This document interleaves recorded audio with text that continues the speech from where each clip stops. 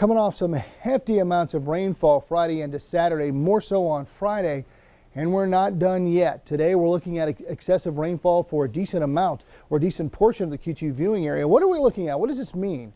It's a marginal risk of excessive rain. That means these shaded areas, including Billings, a 5% chance where we could see enough rainfall to lead to some flash flooding. And that's why we do have a flood watch that will kick in at lunchtime today through tomorrow evening. We have a marginal risk for some for excessive rainfall tomorrow too. That's why we're going to hold on to that watch through tomorrow evening. What about severe weather? Well, we're not out of the woods on that either. Now keep in mind, this could change this afternoon. I'm seeing some models try to ramp things up just a bit. So you can see that slight chance of uh, severe weather down there around Gillette, just, just on the fringe of our Q2 viewing area.